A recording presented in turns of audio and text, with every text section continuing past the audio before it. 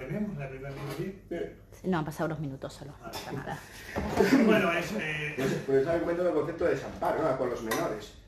Que vemos por un lado unas fotos preciosas de niños jugando en los 80, entre columpios, jeringuillas, pues que pasan en los 80, ¿no? Yo así fui feliz, con una escopeta perdigones incluso.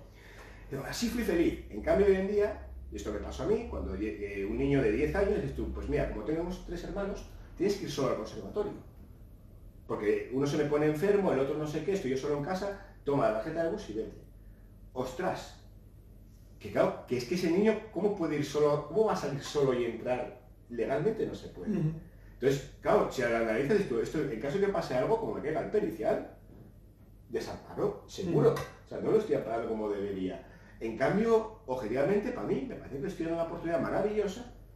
Quizás si fuese hijo único, iría con él seguramente. Pero como tengo tres y no tengo más remedio, le tengo que dar esa libertad. Ya que la veo y estoy más a gusto con ella, ya, me acabé acostumbrado a esa libertad, y digo, joder, qué suerte tiene, que siendo tres hermanos se tiene que andar solo por la ciudad. Cuando hay los pocos niños que andan solo, ¿no? Esto pues, realmente lo que acabas de comentar tú ahora, lo que es legal, lo que es técnicamente correcto, es lo mejor para la persona es algo que se reflexiona continuamente también en el libro. Mira, esto, esto, lo íbamos a hablar antes y lo meto. Claro. Me gusta. ¿eh? Sí, no, y te fíjate hasta qué punto la, la reflexión. Yo lo digo porque eh, yo me reflexiono sobre el trabajo social desde hace mucho tiempo. Acuérdate que un día te dije que teníamos una conversación pendiente. Para hacerlo por eso, por el libro. Un ejemplo, ¿no? Yo me hablo un ejemplo, me ha tocado ir algún pericial y a discutir con los jueces y los abogados de los límites que están poniendo, ¿no?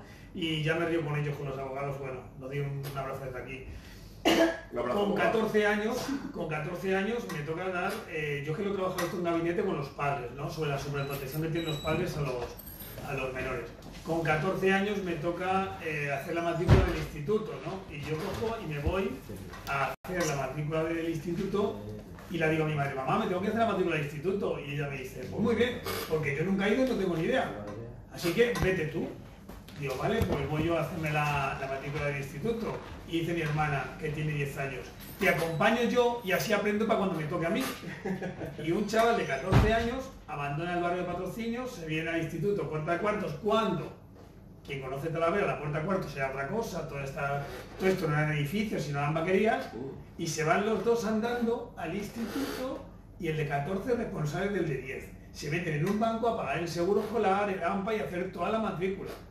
Y de pronto una madre me dice, pero ¿cómo le voy a dejar a mi hija que haga la matrícula si no sabe? ¿Qué edad tiene? 20 años. ¿Cómo que no sabe? O sea, eso es también un poquito la, parte que hemos cambiado, ¿no? Y que quizá eso también que, vemos. Pero tú das cuenta, por ejemplo, que ahora no puedes dejar a los niños solo en casa. Ni de 10 años. 10 años ya son paisanos. Con 10 años antes están cuidando vacas ellos solos y tienen una ganadería a su cargo. Pues ahora no puede quedarse solo en casa. Y en caso de que pase algo, como hemos visto en algunas noticias, el responsable del padre. O sea, no aceptamos que los accidentes existen, que hay que dar responsabilidades y con eso corremos un riesgo que hay que asumir. Bueno, pues a algún niño le pasará algo, efectivamente, pero de esta forma, cuando lleguen a los 20 años, sabrán hacer una matrícula. A lo mejor ese tiene que hacer un huevo para empezar. Entonces, esa especie de sobreprotección en que estamos cayendo nosotros, decidiendo qué es lo correcto y lo, incorrecto, no solamente los trabajadores, lo decías tú, los abogados, los juristas, los educadores sociales, los salváis, nunca os menciono, pero bueno. Eh, es algo sobre lo que reflexionar. ¿Qué necesita la gente y cuándo es, cómo queremos que viva? Que son dos cuestiones muy distintas. Y si tienen libertad, porque a mí me hace mucha gracia de yo quiero tener mucha libertad. Bueno, mucha libertad en España no se tiene, porque hay un montón de normas que nos obligan a no vivir como nosotros queremos, sino nos obligan a vivir con un montón de normas que nosotros no Hasta para bicicleta. Mm, para todo, estamos, estamos muy normalizados. Lo que estamos hablando es así. Yo me acuerdo en el, en el, propio juzgado, cuando me preguntan si es normal que una niña de 12 años se encargue de sus menores hermanos de 6. Y yo le digo, tengo un amigo que el tío ha estudiado su carrera, ahora es bastante bien, pero que problemas de, de organización, de que su padre y su madre tenían que estar trabajando, él con 10 años ya sabía hacer un cocido. Mm. Digo, yo tengo ahora mismo en aquel momento treinta y tantos años y todavía no he aprendido. Quizá la necesidad que él tuvo le hizo madurar antes, coger mayores responsabilidades y ahora mismo tiene su carrera y hasta el jefe de estudios de un instituto. Y él, desde muy pequeño, sabía cocinar. Sí, lo curioso es que el, pues de las mismas personas que critiquen que esté solo a ese niño cuidando al hermano, sean los mismos que ponen esa foto de, hay una foto muy buena también por las redes, que es un, sí que es africano, me parece es una niña africana dando de comer, pero súper pequeña, a lo mejor tendrá 5 o 6 años, dando de comer, o sea, se ve que sabe a su hermano que es un bebé De esto es la gente responsable. ¿Cómo no van a aprender? Bueno, hombre, sin llegar a ese extremo, lógicamente. Tampoco caigamos en, No. en este mismo. Pero sí que, es decir, hay que apoyar una sociedad en la que la gente tenga unos ámbitos de libertad más grandes sin miedos a las repercusiones legales para todo. Que si el niño no sale con el permiso del padre, no puede salir del colegio. Pues a lo mejor no puede recogerlo y tiene que venir solo. Darme también la libertad de, como padre, como sociedad, de que los niños puedan volver a, andar solos por la calle y recogerlos unos a otros, ya que van al colegio. Que es una cosa que hemos perdido. Pero vas, al colegio, vas al colegio y le dices, sí, que estoy aquí el padre, y le sueltas, te montas en el coche y te vas y el niño luego vaya andando. Que tampoco es una receta. No, yo, yo y si dejarnos de irnos del libro, porque yo creo que es importante eh, la parte del libro en la que, eh, pues eso, a veces sin darme cuenta, yo iba viendo esa reflexión en cuanto a que eh, los trabajadores sociales, eh, a veces los trabajadores y trabajadoras sociales, nos poníamos el calzoncillo y la braga por encima de los pantalones, parecemos un superhéroe, Sí. ¿vale? E intentamos salvarlas a las familias por todos lados que muchas veces no quieren ser eh, salvadas. Y me acordaba muchas veces del chiste del hombre que va con un hacha clavado en la- aquí en la cabeza al médico. Y dice, bueno, bueno, ¿qué pasa? Y dice, tranquilo por el hacha, si lleva ya una semana ahí, cúrame la tos, porque a ver que estoy nudo, me pego con el mango y me duele un montón. O sea, eh, quizá esa es la parte, es decir, la- usted, ¿qué es lo que quiere? ¿Qué- ¿En qué puedo ayudarle a mejorar vuestra, su vida? ¿Vale? Y, y esa parte que no preguntamos, sino que diagnosticamos bajo nuestra forma de ver el mundo y sin preguntarle, usted, ¿por qué ha venido? ¿En qué puedo ayudarle? Eso me recuerda a mí con menores. El primer centro que trabajé, teníamos un taller. Era un chaval, además era enorme. Pues, no sé, caía a 10 centímetros, tenía 15 años, era enorme. Muy gordo además, muy grande. Y en un momento dado... eh, Viene del libro primero, Tucanes. Sí, sí, sí. Y en un momento dado, eh, dije, venga, hay que ir al taller, hay que ponerse los zapatos del taller. Hay unos zapatos especiales para ir al taller. Y se me queda así. ¡No! Ha- que hace Alejandro nervioso con veintipocos añitos en el centro, me encaro a él. Ponte inmediatamente los zapatos. Que no! Que va a haber repercusiones ya encarado, ya a punto de, de- voy a saltar sobre ti, a punto de llamar de seguridad, te vamos a reducir a un centro con medidas de contención. Vas a ir, y el otro, no voy a ir a no me pongo los zapatos. Tuvo que ser otro chaval, el que me agarró por detrás, yo ya muy nervioso, y me dijo, es que David no tiene zapatos. Que. Claro, acababa de llegar y todavía no le habíamos comprado los zapatos. Entonces, en un momento dado, yo ya estaba, lo que decías tú, yo ya había diagnosticado aquí un problema, ya había un chaval que se me había enfrentado, aquí había que hacer una contención y yo ya había hecho todo el proceso de intervención en mi mente y menos mal que otro me informó. O si no, a ese tío lo expuso y lo metemos en la... De esa forma tan sumamente injusta. Sí, sí, y a veces esa es la parte. Sí, sí, su necesidad evidentemente era otra. No ponerse el zapato era que yo se lo comprase. Claro, esa es la parte. Bueno, y para ir terminando un poquito, eh, eh, tengo que decir que este no me lo he podido leer todavía. Pues fue culpa mía porque pensé que te había de, enviado. de Marina, la verdad que eh, físicamente es más bonito, ¿vale? Porque tiene más colores, tiene gráficos y demás, y es de más fácil lectura, pero un poco puedo aportar, ¿no? Sé que tú has sido editor del libro. Vale. Esto te- es, una- un proyecto que me encanta, estoy muy orgulloso de él además, no es mío, es de Javier Gómez y de Pedro Rodríguez, que son dos chavales de, mm, de Valencia, que tiene Javier, tiene una página muy famosa que es Historias del Trabajo Social, tiene un montón de seguidores, Sí, 15.000 sí, sí, seguidores, y se hace así muchos memes y un poquito... Entonces, ¿qué pasó? Que yo cuando saqué Tucanes, tuvo muchísimo éxito, es muy conocido en la profesión, resultó que nadie me lo quería editar, nadie. O sea, voy a, además me lo, me lo dijeron, bueno, no voy a decir la editorial, me dijo, mira, es que si fueses profesor en facultad, que puedes obligar a tus alumnos a comprarlo, entonces sí, pero esto, una novela, nadie la va a comprar. Y digo, bueno. Y con esa idea fue cuando saqué este libro, que luego ya te digo, fue un éxito hasta el punto de que la primera edición se agotó en días. Porque además, el primer día tuve que cortar las ventas porque ya no era capaz yo de gestionarlas, tantos mensajes. Entonces, luego saqué Filomeno y cuando este chico con tantos seguidores, tanto impacto, dijo, oye, he escrito un libro, ¿qué es esto? Pues es un libro infantil sobre el trabajo social, que me encantó porque ya tenemos una novela, o sea, una, una ficción biográfica, tenemos una novela al uso, hostia, ya tenemos un cuento para niños. Mira qué colección más chula, ¿no? Ya hay tres variables que ya me dije, más, no va a tener ningún problema, habrán aprendido de la lección de Tucanes y ahora las, las editoriales al lado. Nadie se lo quería editar. Y él avisaba, y joder, a ver si encuentro autoedición, nos pusimos algunos mensajes, y oye, mira, si quieres te ayudo yo a autoeditarlo, no sé qué. Y un momento se lo dije, lo pensé, ¿qué coño? Te lo edito yo. O sea, ¿para qué vamos a andar con tonterías? Tengo una editorial, te lo edito yo. Y así fue como nació. Eh, Marina, pues Marina es un personaje eh, que el libro lo que va recorriendo es un día entero. Y va de forma muy breve, así medio en verso, va explicando un poquito lo que va haciendo con los, con los usuarios. Pues hay gente que es mayor que está sola, hay gente bueno, que está en un equipo de trabajo que se va juntando por la mañana, van decidiendo la agenda. Más es muy llamativo porque a los niños esto les encanta, a los niños les encanta, ¿eh?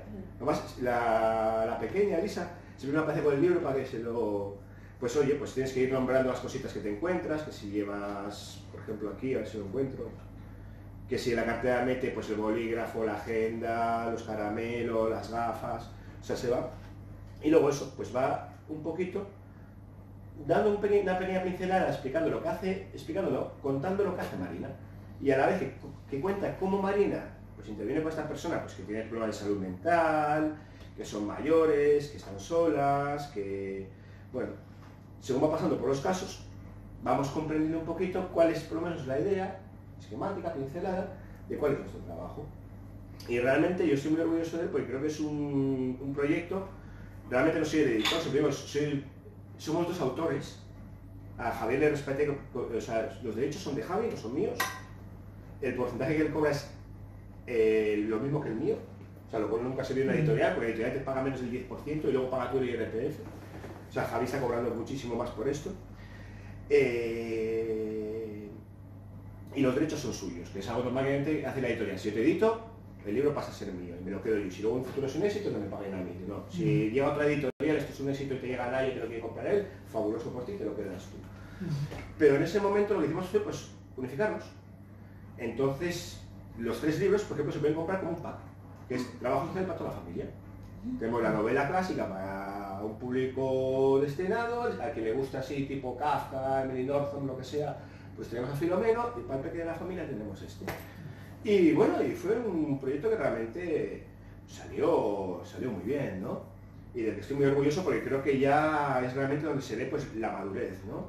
Claro, este proyecto empezó hace en 2015 ya se ve una pequeña colección.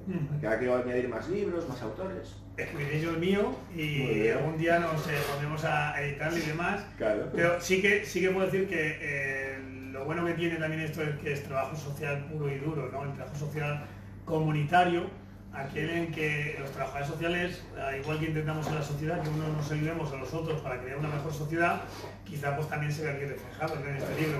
Un trabajo comunitario de yo ya he pasado por esta experiencia, yo ya sé lo que es escribir los libros, editar los libros, pero yo sé que una vez que te pongas a escribir, eh, escribir el libro y se publique, va a tener éxito.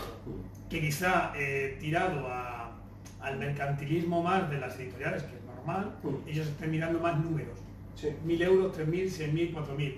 Y tú en este caso estás, estás viendo proyectos, lo has dicho.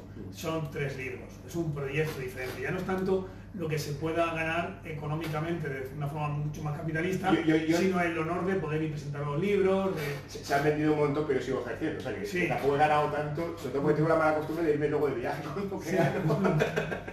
pero es normal que escribas un libro, la gente lo pague, es un trabajo, ¿no? Sí, O sí, sea, pero, que- pero bueno, más bien es lo que dices tú. Es más bien es un proyecto en el que intento. Creo que estamos en un momento fabuloso en el que nació la autoedición. O sea, nació la posibilidad que los autores ya no dependamos de las editoriales ni de correcciones. De hecho, está lleno de falta de ortografía y lo digo. O sea, en el sentido de que lo, hice yo con la ayuda de la gente que me pudo rodear y se corrigió hasta donde se pudo corregir, sin ayuda profesional. Pues es algo, algo así es como el equiparable al bolso de que nos compramos hecho, que no es perfecto, no es un botón efectivamente, no es un- una línea, pero es, tiene una, una autenticidad propia, ¿no? O sea, esto, básicamente siempre me faltó encolarlo a mí para terminar de hacerlo. Entonces, eh, y sobre todo, ¿qué es, ¿qué es lo que nos abre? A los trabajadores sociales, eh, bueno, en este caso somos estos chicos, que eh, estamos ejerciendo.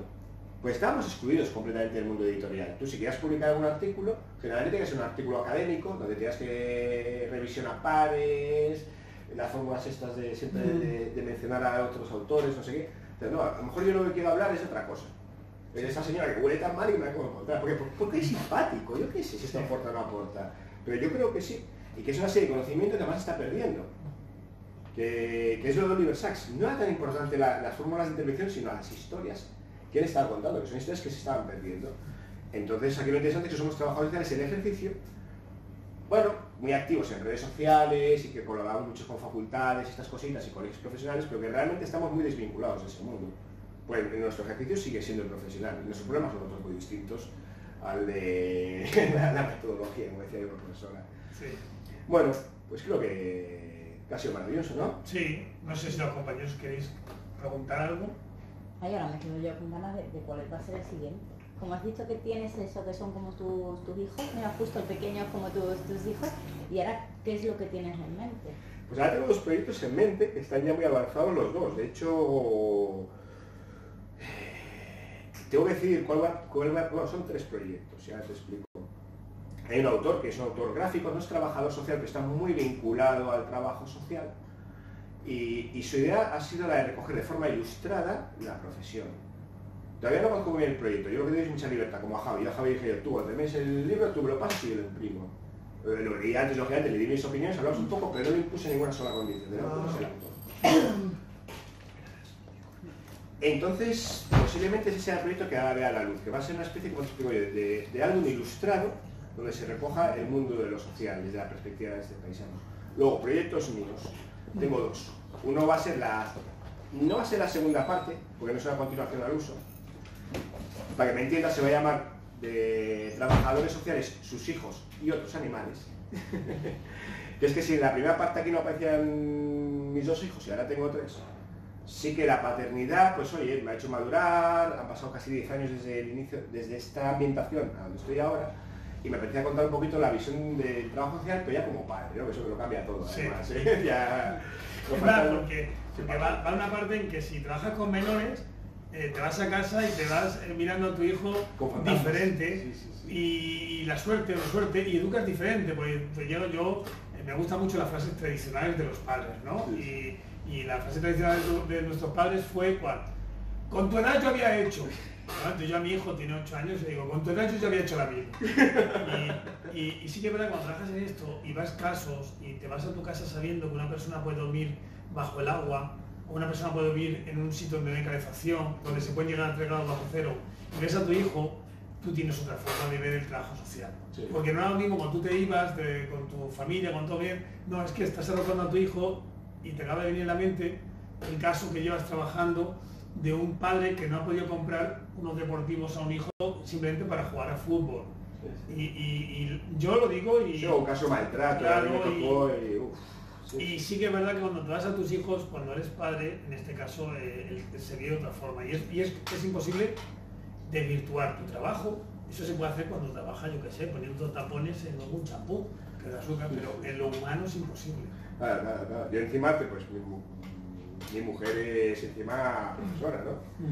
Eh, entonces, ¿qué pasa? Que el tema de menores es como continuamente muy constante. Estamos hablando continuamente de casos y también de casos duros, me los cuentan, los vamos compartiendo. Y es verdad que tienes luego esos tres pequeñajos por ahí y, y como que el fantasma siempre está acechando, ¿no? Entonces la perspectiva cambia.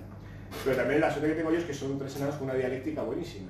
O sea que me aportan muchísimas eh, anécdotas, experiencias y bueno, ese es uno. Eh, posible sea el que vea la luz ahora más, pues ya está más concluido además, el que vea la luz ahora. Y el siguiente, eh, el título ya lo dice todos, ya sería una novela que no está vinculada directamente al trabajo social, es que del trabajo social. Se llama Alegres Suicidas. si leísteis Alegre, Suicidio en grupo, luego lo leí cuando casi lo tenía terminado este.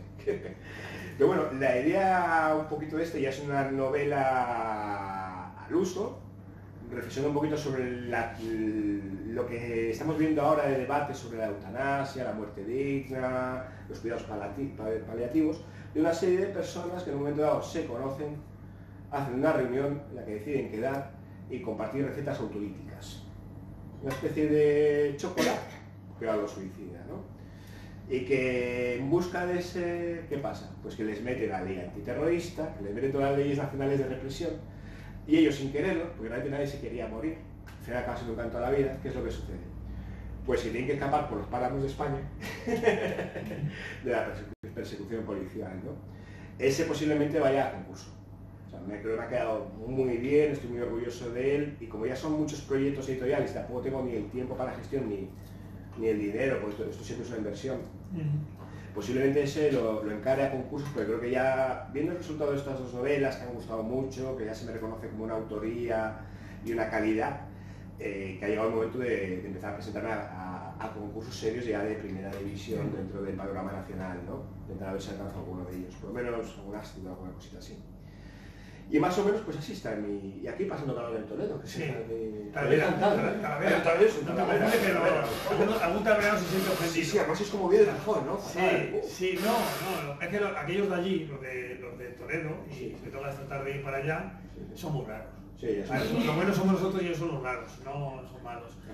Comentas esta novela y me, me hace mucha gracia porque tengo un compañero, Aitor, eh, que está en urgencias, en, en un proyecto de urgencias eh, de suicidios en Castilla-La Mancha Mm.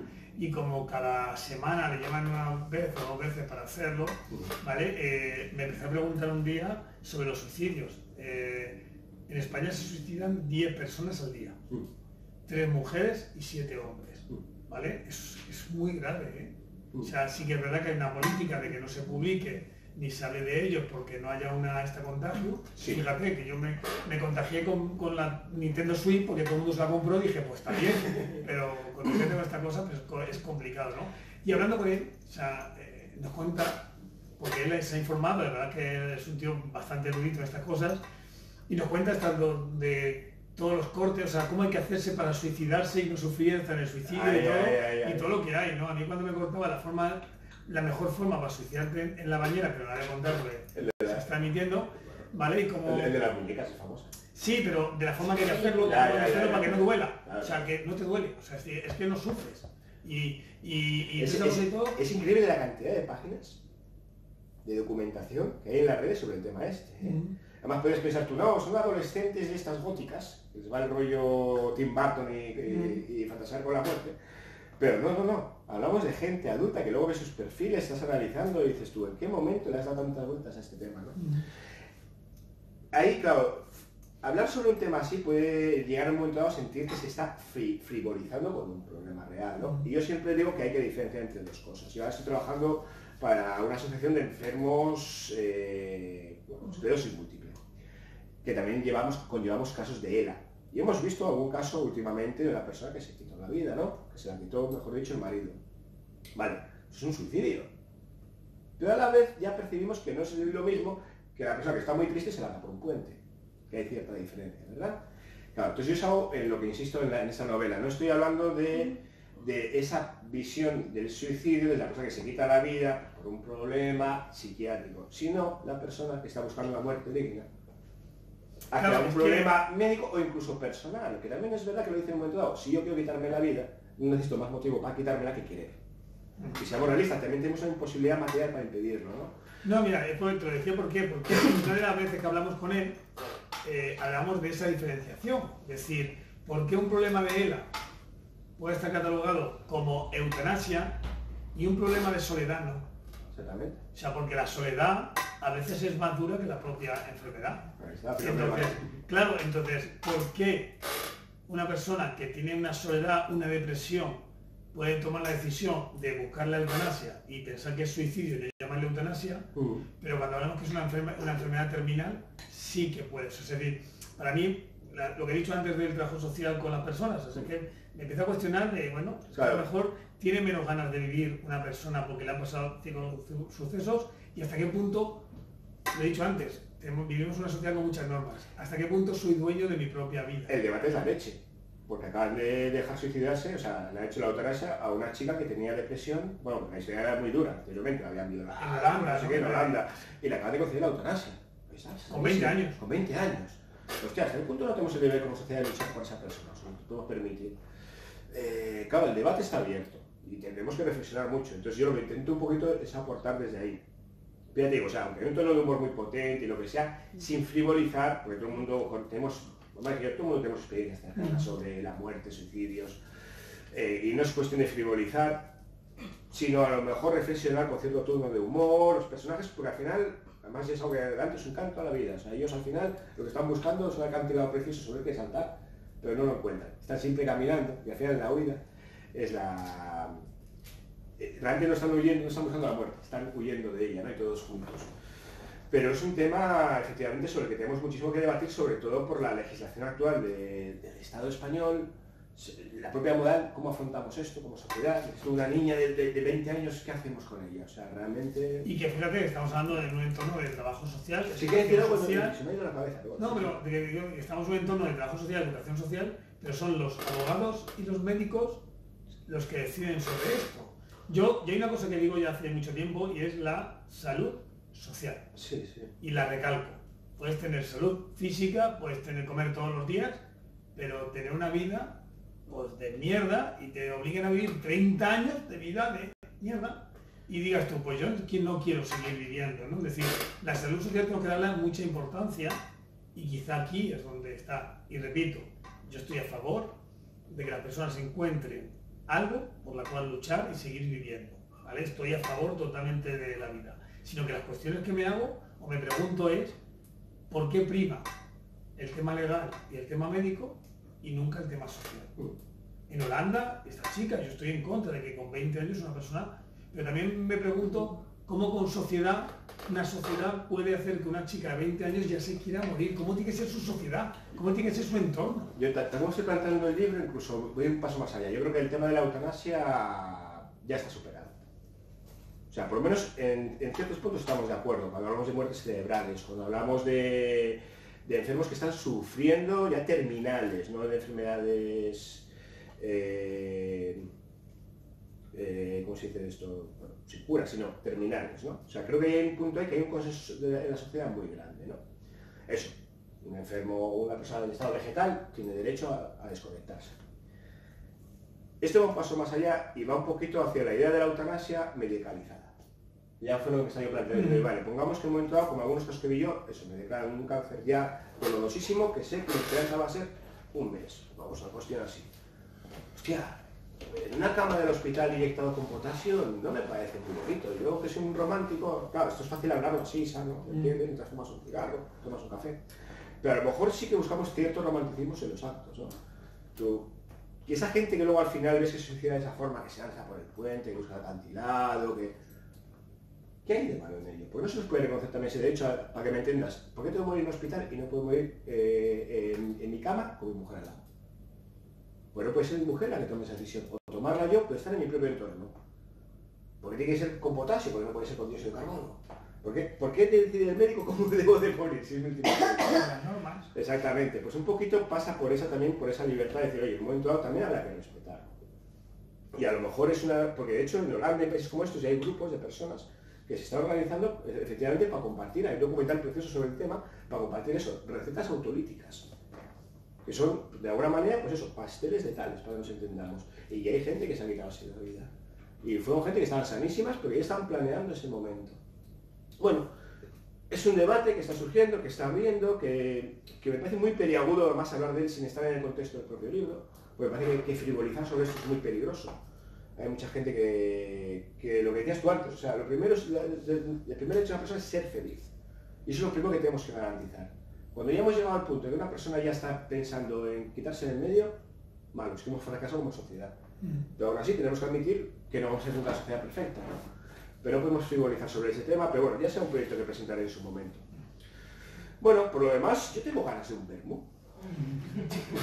bueno, eso ya es alguna cosita más, lo digo por si yo lo que quiero decir es que muchos trabajadores sociales se creen Dios en la tierra y eso tiene que cambiar. Y además siempre van con ideas preconcebidas Igual yo voy a visitar un trabajador social y no necesito nada, porque tiene que decirme lo que yo necesito. Yo creo que eso tendría que cambiar. Yo creo que sí. Eh, a mí muchas veces me recuerda esto eh, a la primera concepción, cuando sale primero del trabajo social, eh, cuando nace el, trabajo social, hace 101 años fue el libro del diagnóstico social, o hace 102 años, eh, cuando nace el trabajo social, nace porque hay una persona que se acerca a una comunidad que está sufriendo y les dice, yo os puedo ayudar a que os organicéis y dejéis de sufrir. Yo os puedo ayudar a que os organicéis. La titularidad es vuestra. Cuando los servicios sociales se van constituyendo en España, y no tiene que ver ya con todos los libros, se van constituyendo en un sistema. Y intentamos mmm, ser un sistema que nos parecemos a los médicos. ¿vale? Y es una crítica también al sistema sanitario. Claro, es decir, el sistema sanitario está montado en que el paciente importa un bledo, sino que lo que importa es la enfermedad y el médico, y el enfermero. Y cuando está allí, le dices, oye, que no, no, esto va a ser así. Y si usted se niega a lo que yo diga, me firma y su responsabilidad es suya. Pero tú no decides sobre tu salud, decide el sistema. Pues en lo social lo hemos construido igualito. Tú no decides sobre tu salud social, la decide el sistema. No es si el trabajo social, sino el sistema. Y habrá que darle la vuelta y, y a un ejemplo, el París. Una cosa tan bonita como tener hijos, que antiguamente se hacían las casas, llevamos 100 millones de años haciéndolo en las casas y desde hace unos 40 lo hacemos en un hospital. Cada vez es más aséptico. Y se está intentando recobrar aquella parte en la cual cuando tú estás pariendo puede estar tu madre contigo, tu marido y alguien más, que sea más humano. Para que veas, te hago el ejemplo con el, con tema médico. Pues esto nos está pasando con el sistema eh, de servicios sociales. Nos hemos imaginado un sistema sanitario en la que los profesionales tienen que estar libres para hacer cosas y no importa la persona. Yo estoy en contra de ese trabajo social o de ese acción de los servicios sociales. Pero hemos caído en un sistema, mi análisis siempre fue el siguiente, yo veo los dos. Está el contributivo, para que me entiendas, el paro, y el no contributivo, que somos los trabajadores sociales. ¿Cuál es la ventaja del contributivo? Que yo si coticé tantos meses, yo sé a qué tengo derecho. Y sé que tal día empiezo el paro y tal día lo termino. Y nadie se pelea con, ¿cómo se llama los de garantía social estos? Los, los, nadie se pelea con un grado social y nadie habla mal de ellos. Yo incluso puedo ir por internet y solicitar mi desempleo. Sota, rey. ¿Qué pasa con el sistema de contributo? Con los trabajadores sociales, que somos los que lo gestionamos. Que tenemos un nivel de autonomía para quitar o dar, que realmente un gran poder lleva, lleva una gran responsabilidad. Y se da cuenta que la persona que viene a pedirnos algo a veces sale del despacho con eso negado. Y luego ve que el otro sí lo tiene y no comprende esa discrecionalidad, ¿no? Y, seamos realistas, muchas veces decimos que no, que la norma está escrita y que eso te acaba de pero el informe social, lo que dice Filomeno, un papel lo aguanta todo. No es una herramienta que pese, no es una báscula, no es un termómetro de 38,5 gramos. Es un poquito lo que yo he querido poner y cómo lo quiero poner. Entonces, es un poquito, yo creo que es culpa también de, de la falta de esas herramientas de objetividad. Posiblemente ahora la informática, los logaritmos y todo esto, nos empiece a dar herramientas por las cuales tú cuando vengas a la contratación social ya sepas de antemano qué es lo que te puede dar y qué es lo que no te puede dar. Como igual el desempleo. ¿Qué lista de recursos existen? Quitándonos esa autoridad casi que asusta por momentos, por ejemplo, con el tema de menores, que yo, como yo te levanto un informe te lo envío al juzgado, ya hablarás conmigo en el juzgado dentro de dos meses, ¿eh? pero igual que no va a estar contigo dos meses. Cuidado con ese poder, como me dijo una vez una persona, ¿no? Y es verdad que, por ejemplo, en los, en los grupos de Facebook eso se ve muchísimo. Hablo de menores, ¿eh? de cómo me han quitado al niño y yo no estoy de acuerdo. Y cómo, la gente aprecia esa especie de poder que se ejerce sobre ellos de una forma completamente injusta. Y dices tú, oye, ¿y esto lo dices, por ejemplo, cuando te quitan el coche, la grúa o... Sea, sí que se aprecia esa disfuncionalidad. Como profesión tenemos el reto de superarla. Pues además todos lo hemos ejercido en algún momento dado, yo estoy seguro de ello. Yo trabajando, trabajé en refugio, trabajé con menores y de ciertas maneras sí que salí con la impresión de que la persona que había tenido delante apreciaba de mí un tirano. Una persona que había ejercido un poder que no tenía esa, que era injusto como lo estaba ejerciendo, ¿no? Yo mira, eh, mi experiencia con, con, personas sin hogar en un albergue, eh, muchas veces me sentaba con ellos y les decía, tengo que tomar la decisión por esto, por esto y por esto. Sé que me vas a odiar, que vas a dormir fuera, solo te puedo decir que mañana vengas a hablar otra vez conmigo porque me gustaría reconsiderarlo. Pero acabas de intentar pegar a un tío